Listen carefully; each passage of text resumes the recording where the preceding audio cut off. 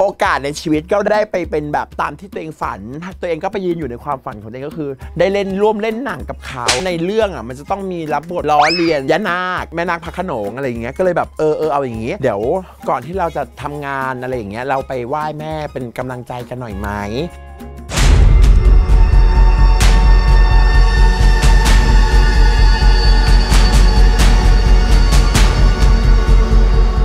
ระหว่างที่เราไหว้อะไรอย่างเงี้ยคนอื่นเขาก็ไหว้ไปอย่างเงี้ยเราก็ขอนานเลยขอนู่นขอนี่เอาไงดีวะได้เล่นหนังกูจะเสียศักดิ์ศรีได้ยังไง หน้ากูต้องใหญ่ค่ะกูบอกเลยหนังกูจะมาร้อยลงร้อยล้านไม่ได้หรอกนะยายจ้ามึงเข้าใจไหมเราต้องมีทริคค่ะ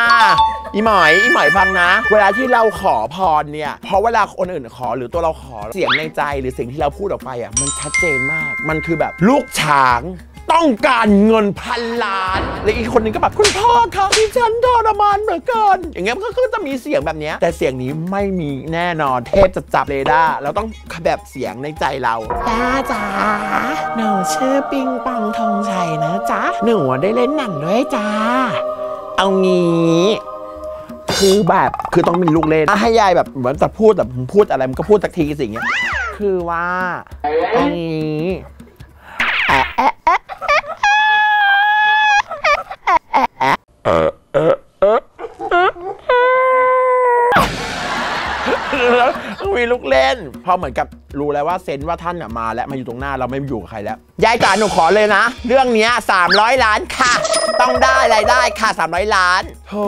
แล้วมันก็แบบเป็นหนังที่มหัศจรรย์มากอะนะแม่เนาะรายได้ตุ๊ดซี่ส์ and The Fake อะมัน peak peak peak peak peak แบบเหมือนอาทิตย์หนึ่งก็ร้อยล้านแล้วอะก็เลยแบบอุ้ยอย่างเงี้ยคือถ้าถ้ามันเกิดมามันเปอร์เซ็นต์ที่มันจะไปถึง 300 ล้านมันชัวร์แน่นอน แล้วก็แบบเฮ้ยยายจ๋า ทุกคนต้องคงจะแก้บนแหละเนาะเพราะตอนบนน่ะ ขอยายว่า ยาย ถ้าหนูได้ 300 ล้านนะ หนูจะเอาไอ้เนี่ยมาไหว้กับหนูเนี่ยไอ้เจเจเนี่ย มารำแก้บนด้วยหนึ่ง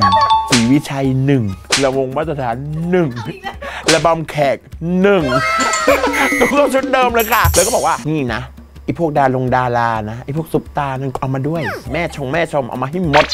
บอกงี้เลยอะพูดไปแล้วก็ไม่รู้เขาจะทำหรือเปล่าอะ ก็แต่บอกไปแล้วให้ทำไงได้ ก็แบบเราเห็นแผนของบริษัทว่าแบบจะต้องมีวงสวง300 ล้าน แล้วก็แบบเอางี้นะทุกคนขอบอกอะไรหน่อยนะ คือหนูอะตอนที่ไปไหว้ย่านาคกันหนูบนไว้ค่ะ ถ้าถึง 300 ล้านนะจะเอาแม่ชมมาเอาทุกคนอะไปรำค่ะแก้บนค่ะที่วัดค่ะ บางคนบางคนขำบางคนโอ๊ยบางคนเฮ้ย บางคนอะไร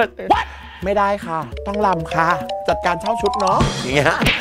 เช่าชุดหนึ่งซ้อมโคโรกราฟเฟอร์หนึ่ง Thank you.